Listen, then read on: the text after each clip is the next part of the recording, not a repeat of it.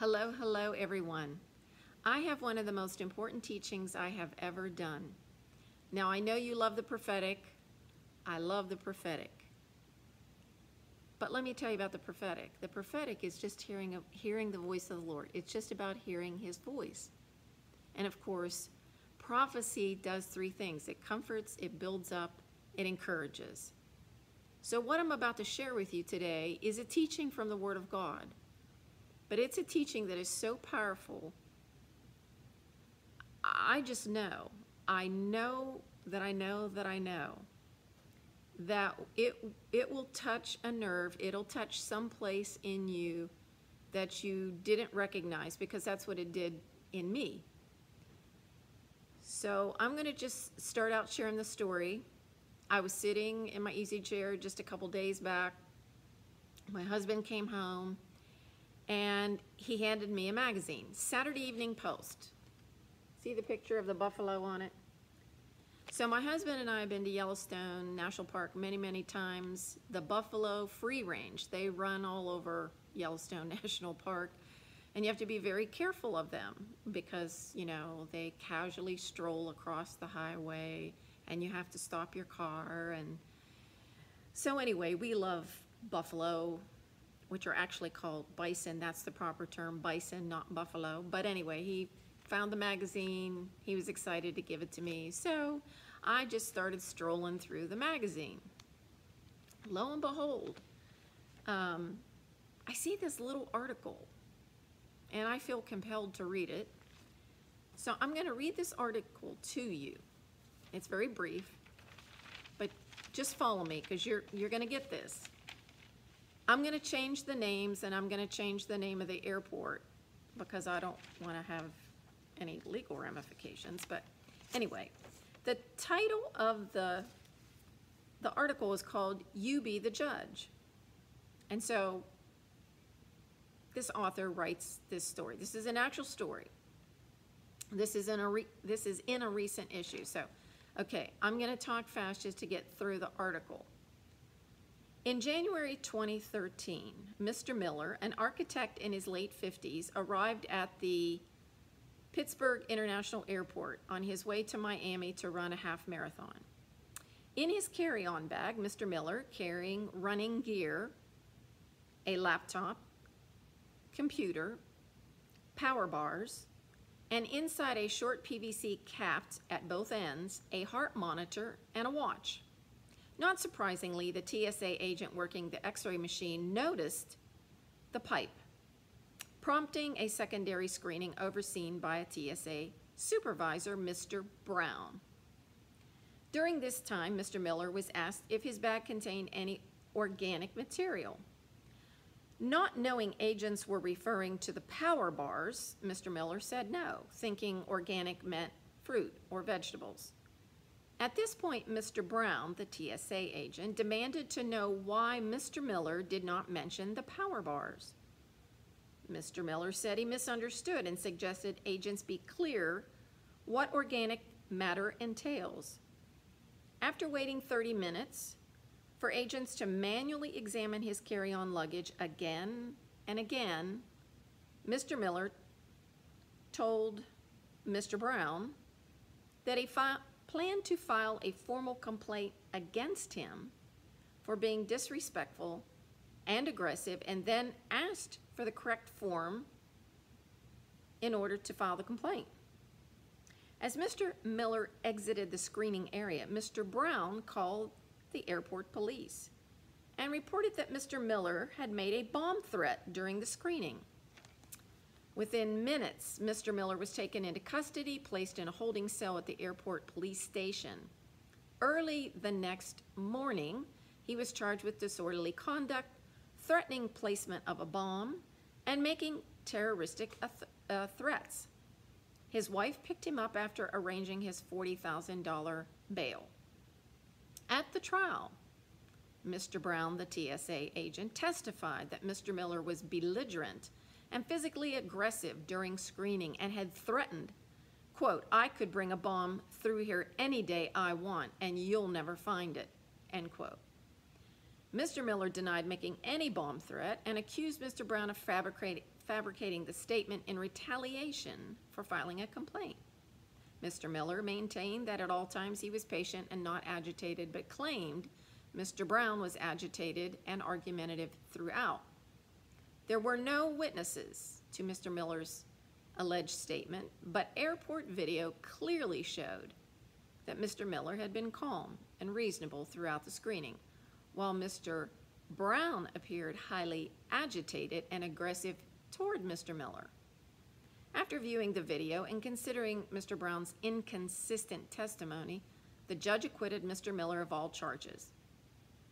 Mr. Miller later brought suit against Mr. Brown, the Pittsburgh Airport, excuse me, the Pittsburgh Police, Airport Police, the TSA, and the Department of Homeland Security, alleging numerous federal and state violations. Though most were dismissed because of sovereign immunity, Mr. Miller's First Amendment retaliatory prosecution and Fourth Amendment malicious prosecution claims against Mr. Brown were not. Mr. Brown appealed to the U.S. Appeals Court to reverse the lower court's decision not to dismiss the claims against him. The court ruled in favor of Mr. Brown, the TSA agent, finding that TSA airport screeners cannot be sued for retaliating against travelers exercising free speech under the First Amendment because the role of the TSA in securing public safety is so significant that we ought not create a damages remedy in this context. The dangers associated with aircraft security are of real and high consequences.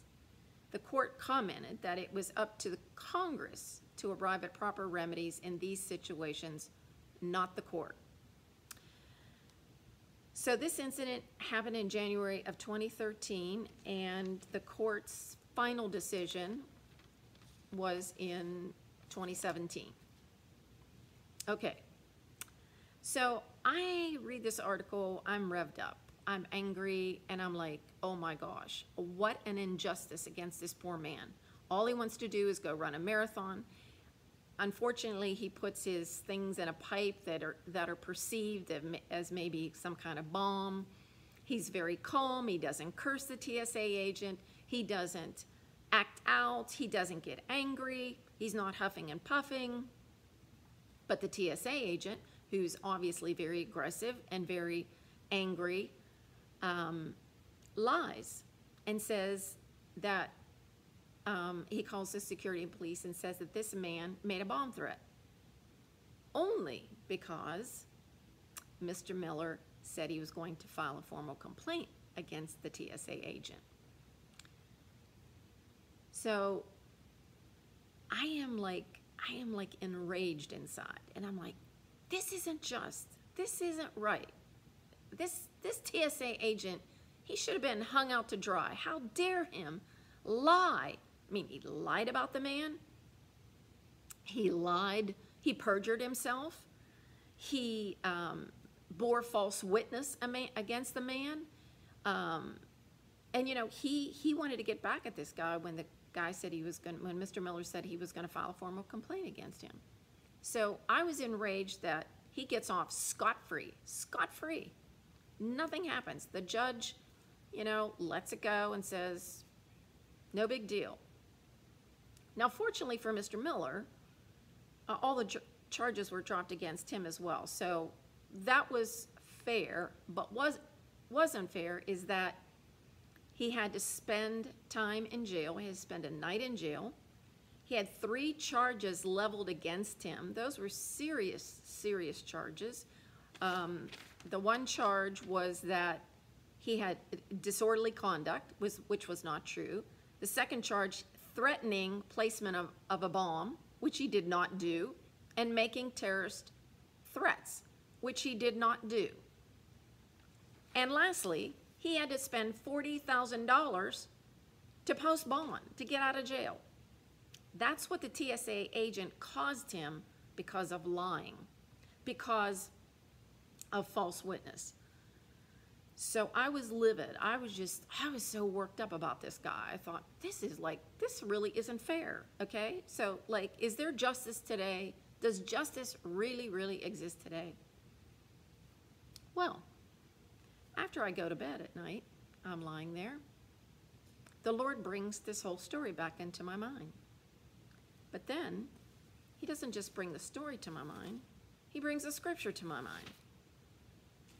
He brings Matthew 5 25 and 26, which I'm going to read to you. Jesus, these are Jesus' words. Agree with your adversary quickly while you are on the way with him, lest your adversary deliver you to the judge, the judge hand you over to the officer, and you be thrown into prison. Assuredly, I say to you, you will by no means get out of there till you have paid the last penny. Now, I don't know about you, but I've never liked that scripture. I'm not sure I really even understood that scripture. Like, what does that really mean? Why, why would I agree with my adversary for fear I'm going to be put in prison and then I'm going to have to pay every last penny? I mean, it just didn't make sense to me. That's the scripture. Matthew 5 25 and 26 that the Lord immediately brings to my mind about this situation because I was all revved up about it. And the Lord systematically takes me through the scriptures in my mind and shows me that I am wrong about the TSA agent. So here's what I want to teach you.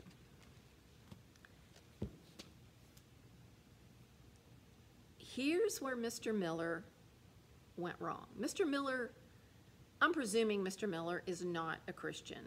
Doesn't sound like he is, but who knows? Okay, so he's good because he doesn't curse the man, he doesn't yell, he doesn't get upset, he doesn't lose his temper, he's patient. He, while they go through his stuff for 30 minutes trying to, you know, trying to find that he's got a bomb somehow, he stays calm, doesn't retaliate with his words. Here's where he failed. When he looked at the TSA agent and said, I am going to file a formal complaint against you because you were aggressive and disrespectful to me. That's that's when everything changed. And that one little statement caused him all the harm he experienced. That one statement, I'm going to file a formal complaint against you. And then all hell broke loose three serious charges. He's in jail overnight and has to pay $40,000. If he had just kept his mouth shut, kept on going, he could have flown to Miami, done the marathon, and everything would be square. But this thing went on, dragged on for four years. So you're talking attorney's fees, you're talking aggravation, you're talking about, you know, going over and over in your mind and just carrying the burden of, of all of that um, angst and, you know, who knows all the feelings that he had inside toward that TSA agent. I'm going to teach you something about the scripture. So Jesus says, agree with your adversary. I just turned over here to Romans by mistake. Agree with your adversary while you are on the way with him. Quickly. Agree with your adversary quickly while you are on the way with him. Lest this adversary deliver you to the judge, the judge hand you over to the officer, and you be thrown into prison. And assuredly, Jesus says, assuredly. In other words, for sure, I say to you, you're not going to get out of there till you've paid every penny. Now think about the story I just talk, talked to you about. All right. In the Old Testament, we were subject, well, I didn't live during the Old Testament, but the people of that time we're subject to the outward behavior. So don't commit adultery, don't murder, don't lie. It was outward behavior. They were judged by their outward behavior.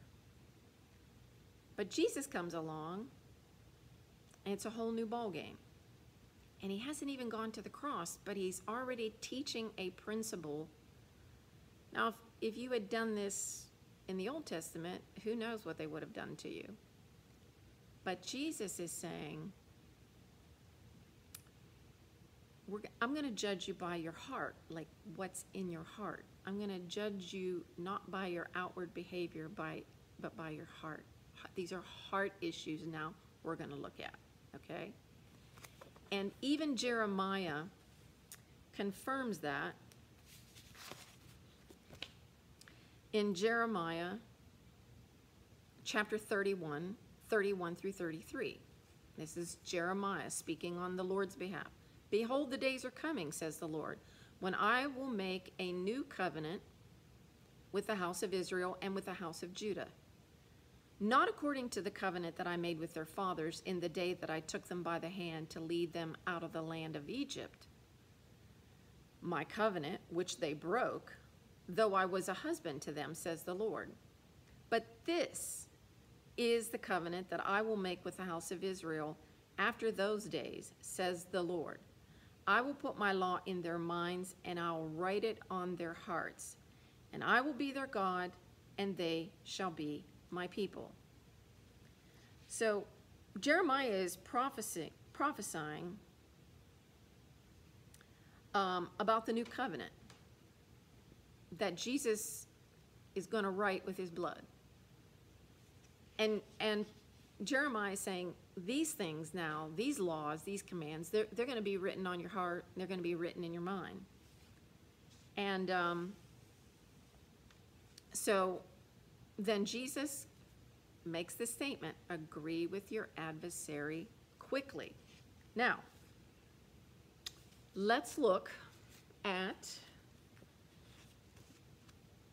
what that means. Just hang on a minute here. So, adversary, agree with your adversary, is an opponent. Anybody who's your opponent. It can be an opponent in a lawsuit, it's an enemy, especially Satan. Quickly, agree with your adversary quickly. Agree with your enemy, your opponent quickly, which is speedily, without delay. So think about what Jesus is saying. Agree with your enemy quickly, without hesitation, without delay, while you are on the way with him. Now, that doesn't necessarily mean while you're walking with them or while you're on a journey with them. It means it's just a it's it's a way of saying it's a course of conduct. It's a way of thinking, feeling, deciding. In other words, agree with your enemy at the time of the situation you're currently experiencing. Mr. Miller is currently experiencing this TSA agent giving him a bad time. Mistake. Instead of looking at him and saying, I'm going to file a complaint against you, he should have said, Okay, I'm sorry, I misunderstood about that. I didn't mean to um, cause you to mistrust me. I didn't mean to mislead you because I had this stuff in a PVC pipe. I'm just on my way to run a marathon. So you agree with your adversary at the time of the situation you're currently experiencing. You agree with them while you're thinking, feeling, and deciding to do otherwise. Because in your carnal mind, in your natural mind, you're going to do what I did. You're going to get mad. And you're going to think out of your flesh, this man did me wrong. He did me wrong. But just agree, just be cordial, practice instant reconciliation. See, he had an opportunity right there. He had an opportunity to practice instant reconciliation with Mr. Brown quickly, without delay, agree with your adversary. Understand that conflicts cause much greater damage to relationships when left unresolved. Understand that conflicts cause much greater damage to relationships when left unresolved. So think about all the damage that took place between these two people. Four years. Four years that that could have been resolved in an instant. Quickly. Jesus said, quickly, agree, quickly. Suddenly, without delay. Get it over with. Take care of it. Reconcile quickly.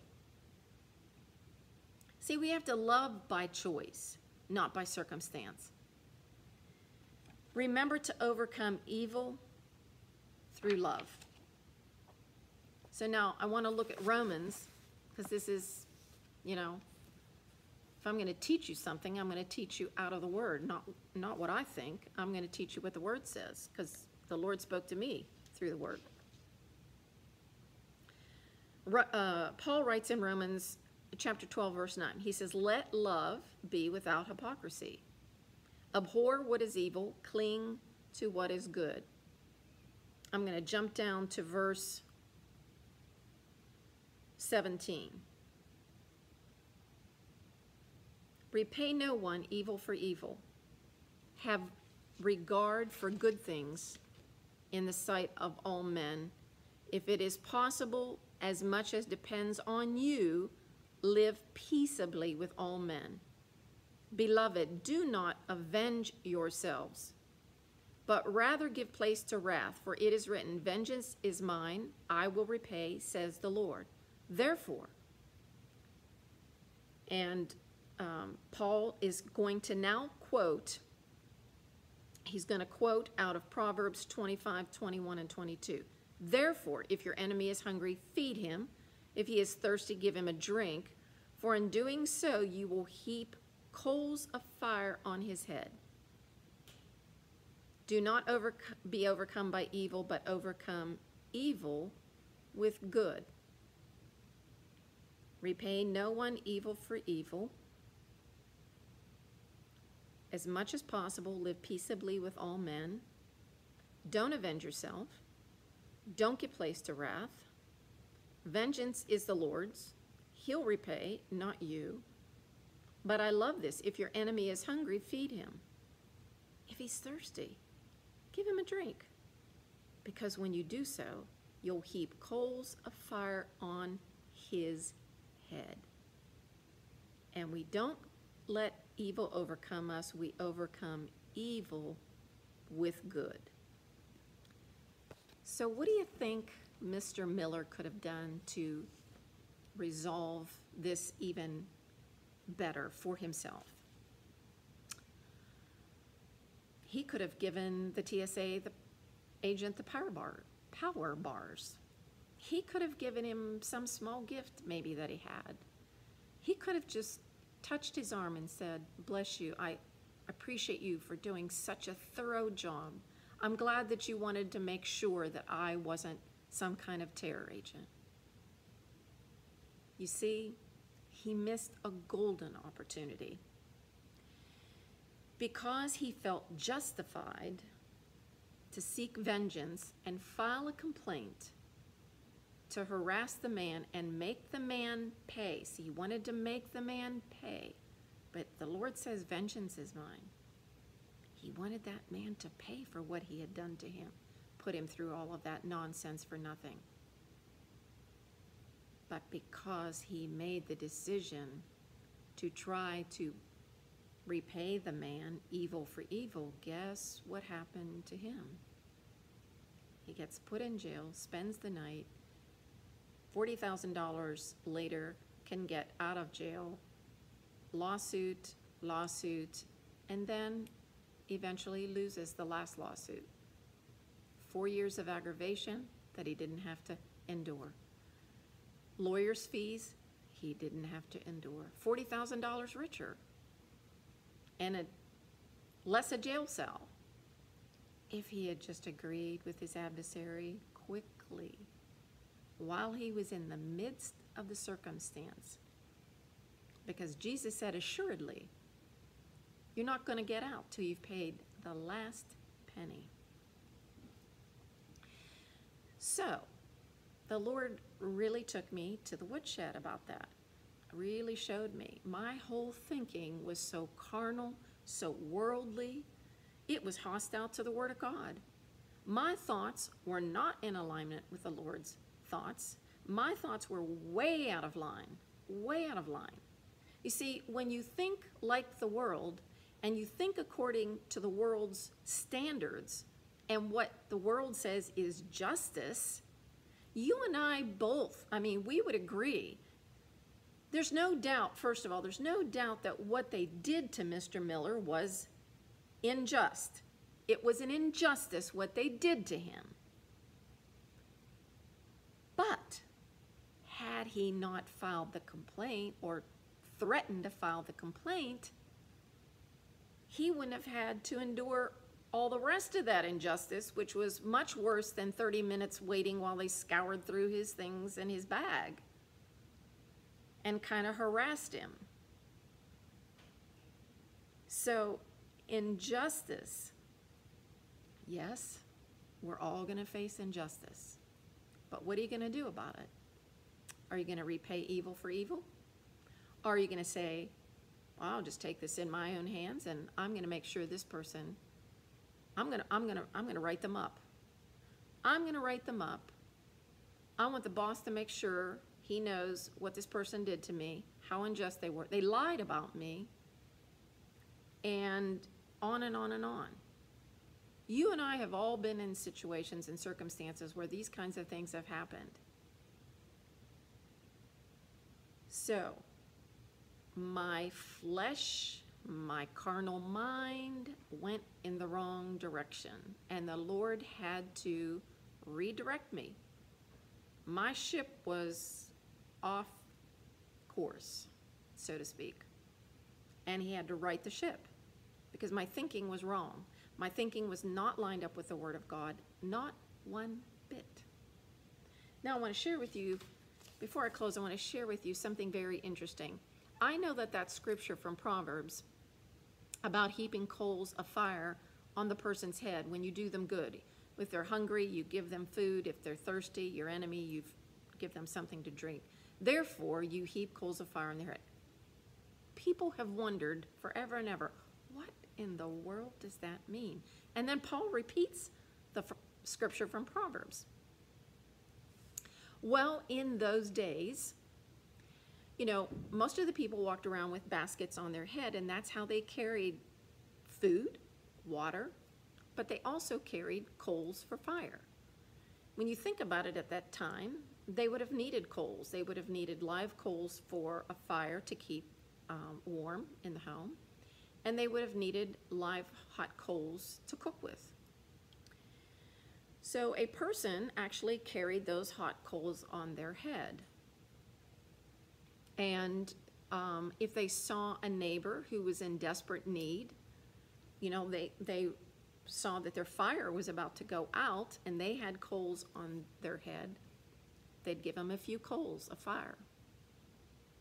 And that was showing the person an incredible kindness because, gosh, if you have no fire to make food or no fire to keep warm, that's a pretty desperate situation to be in certainly at those times. And, um, and so this person would give some live coals and meet the desperate need of the neighbor or individual. And so he would be heaping coals of fire from his head to this individual. So that's where that comes from. I think that's so interesting. I love that because um, now it makes it real to me. I understand. So, Mr. Miller missed the golden opportunity to heap coals of fire on Mr. Brown. And he could have done that so easily with just a few words. You know, like I said, he could have given him his power bars or maybe, you know, some little gift that he had or just putting his hand on him and thanking him for the job that he does and did do that day and being very assiduous about making sure that Mr. Miller wasn't some bad terrorist. I know for me the Lord, this was such an incredible lesson. And you know that the Lord, since this, brought up another situation to me. Showed me another situation where I was feeling like I was justified in doing something not justified, okay? We just have to live according to God's word. And Paul is so clear. I love those scriptures that he gave us in Romans 12. They're so powerful. And I don't know about you, but I want to live according to the word. I don't want to live by my carnal mind. I don't want to live by my flesh. And sometimes it's just so easy to, to shift right into that flesh thing and start thinking like the world. But you know, Romans 8 says that a carnal mind is enmity against God. And what that really means is it's hostile. So my thoughts, when I was thinking all those bad thoughts about Mr. Brown, my thoughts were hostile to God. They were hostile to him. And I don't want my thoughts to be hostile to God. So I repented quickly.